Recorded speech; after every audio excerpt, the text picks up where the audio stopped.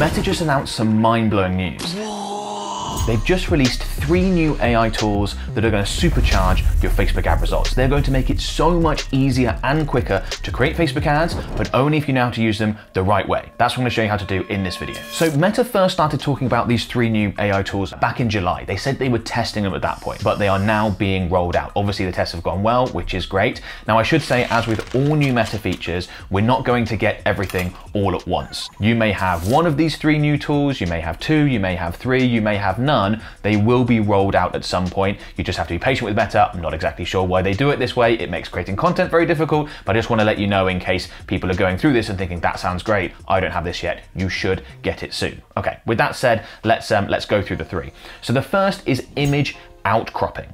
Now that might sound like a, a, new and slightly weird word. What on earth is outcropping? Outcropping is taking your existing image and adding on what would likely be, in this case, above or below it to make a new image that looks better in that placement option. So let's say, for example, you've got an image that is square and you want to be able to run that as an ad, it will run square on feeds and things like that, that's absolutely fine, but you want it to be able to run in a more vertical format for stories, reels, where that's more appropriate.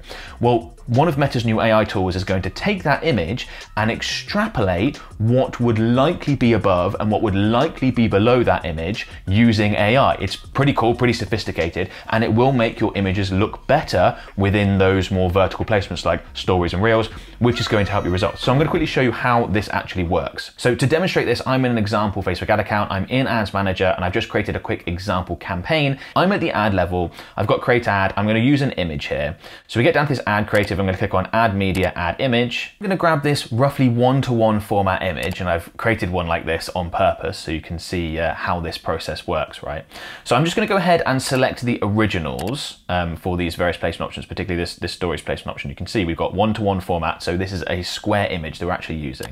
If I go ahead and click next, and we'll see that at the next section here, in this part of standard enhancements and all that sort of stuff, we've got expand image. Now, if you want to know whether or not you've got this feature within your ad account, you want to come in here and check out this expand image. And you can see that what's happening here is that Meta is creating other aspect ratios, other formats based on the image that we've got, and that's what image outcropping refers to. They're putting the part that would be above the image and would be below the image in using AI to make that image look better in certain placement options. So for example, even here, we can see that this isn't um, fully optimized for say stories or reels on the right hand side, but it has taken our square image and that is not square. That is more elongated because that's going to take up more space, in this case within say the Instagram feed is the example that it's given, and that's going to help encourage clicks and help our, um, our ad perform better. We have seen this also apply to fully vertical formats as well, but it's a brand new feature. They're still working out things. It hasn't automatically generated that for us in this example. It's just done one of one for,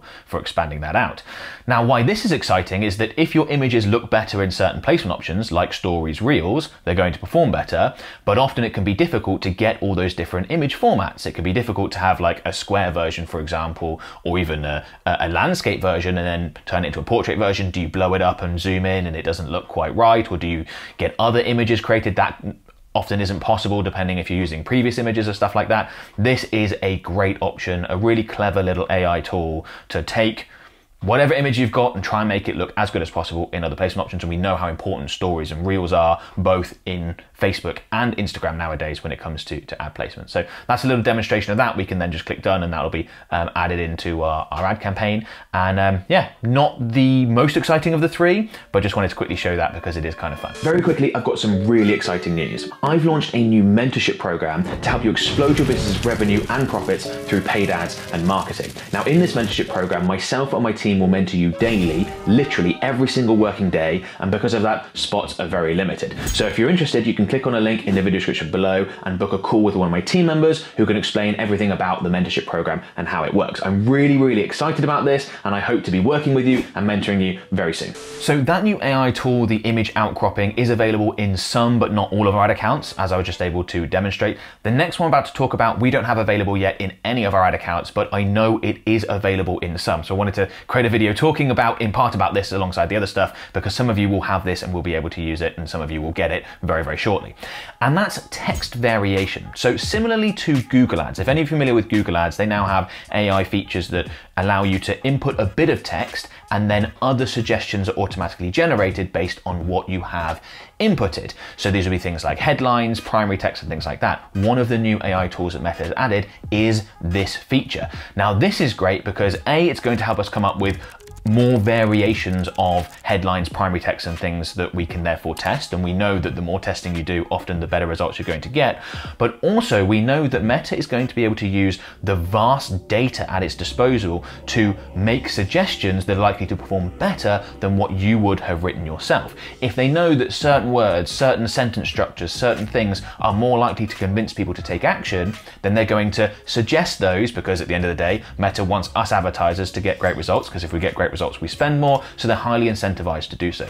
So still create your ad in a similar way where you are inputting your headlines, your primary text, but if you do see options come up at the ad level for suggestions from Meta, obviously take a look at them and and have a go through and think, are these ones that actually apply? Oh, that's a good, or that's good, or that's a different angle, or that highlights some of the benefits in a different way. I wouldn't at all be surprised if we start seeing better results from some of those suggestions than what we're writing as advertisers, simply because Meta has so much data and they know what convinces people to take action, all that sort of stuff. So I'm really excited about this one in particular. I think this is going to be a bit of a game changer for advertisers, particularly those that don't often know what they should be writing headlines, what they should be including in primary text. If they're newer to, to the advertising space, they can take advantage of some of this. And it's only going to get better over time as Meta learns and provides more suggestions and sees what people do use and don't use and how that then performs. So, yeah, this could be a real game changer when it comes to Facebook ad results and, and leveraging AI to put our best foot forward and get the best possible ads in front of our prospects, which will give us the best possible results. We haven't got confirmation on this yet, but I believe it's highly likely that Meta will also pull from our landing pages. So, wherever you're sending people after they click on your ad. That could be within Meta, but often it's going to be to your website, to a specific landing page, something like that. They're going to pull the information from those pages and then use that to inform suggestions around what you should include text wise, whether it's headlines, primary text, etc. So, again, that's extra help, that's extra work taken off our hands as advertisers, and it may get to the point where we don't even need to put any primary text headlines in ourselves, Meta will just work that all out based on from those other sources. I think that's probably, that step's probably a little bit later down the line, but it will most likely happen. And in the meantime, we can take advantage of the variations based on what we're inputting uh, manually at this point. So uh, yeah, very exciting and we'll see what happens with this feature. Now, this third new AI feature is again one that unfortunately we don't yet have in any of our ad accounts, um, but I do know that it is being rolled out and some people do have it. So again, I wanted to talk about it. It's really important and a lot of us are likely to get it very, very soon. And that is background image generation. So this right now is being rolled out with catalogs in mind only. We think it's going to start there and then be expanded to other formats. Again, not in every ad account, we don't have it even where we're using catalogs, right? But what background image generation is doing is allowing us as advertisers to provide text inputs and then for Meta to create a background image that can be used to look great and highlight our products and make them look better and all that sort of stuff. I think this is going to be really great for e-commerce businesses for now, but it's going to obviously expand out. And with those e-commerce businesses, often what we'll see is that an e-commerce business, they have images of their products, right? And they're using them to run their Facebook ads and the background is really quite boring. To be able to use this feature to swap in different backgrounds to test new color variations or things that are really quite different that would actually be really difficult to actually take a photo of um, and just have Meta do that without you having to pay for like a photo editor or anything like that. They'll just do it all within Ads Manager is again really exciting. You could look to include really interesting backgrounds that really make your ads stand out on the feed. So I know that some of the people that have already got access to this, one of the things they've been looking to do with their e-commerce product images that perhaps just have a white background or a simple background, it's on like a wooden desk or something like that, is they've completely switched that out and they've um, used like city skylines as the background and made their image pop out of it. Just something that looks visually very different. And as you're scrolling through your Instagram feed, scrolling through your Facebook feed, and you see that pop up, it's going to grab your attention because it is so different and not something that you could actually get like a photo of. Um, and we know that the first part of any Facebook ad creative is to actually capture the prospect's attention. And then once you've got their attention, you have a much greater chance of them checking out the other elements and seeing well, not whether they're interested and whether they want to come through and purchase. So again, this is something that saves advertisers a lot of time potentially saves advertisers a lot of cost as well because you might only need to get the one set of product images taken as opposed to hiring a photographer every you know three months six months whatever to get different images taken in different locations. You can just get the one set taken and have ai do the heavy lifting in terms of putting in background images and things like that. And because it's based on text inputs it's really straightforward. You can be like, oh yeah, I would like a New York skyline to be displaying my certain behind my certain product and really making that stand out, or I would like something that's uh, like a sunset or something a more natural setting, or, or, or all those sorts of things that you might come up with that might work really well with your products, your branding. You can play around with a load of options and just instantly. Text input,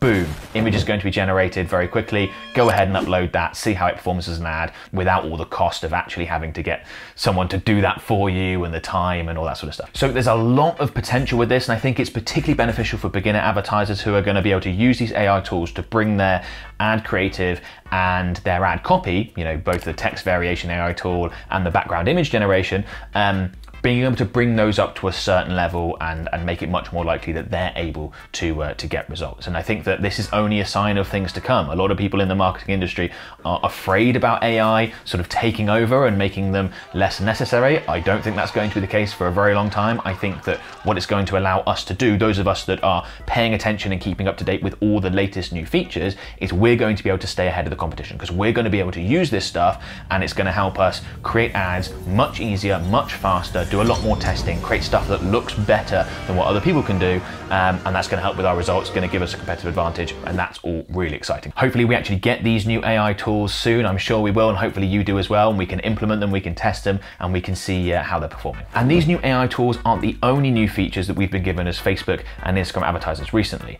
Meta has recently launched a brand new way to run Facebook ads, a completely new way of doing things, and I show exactly how it works in this video. Now, this new feature that I cover in this video is available in nearly all ad accounts at this point. If you're serious about generating great results with Facebook and Instagram ads, you really need to know how this works. Go ahead and check it out.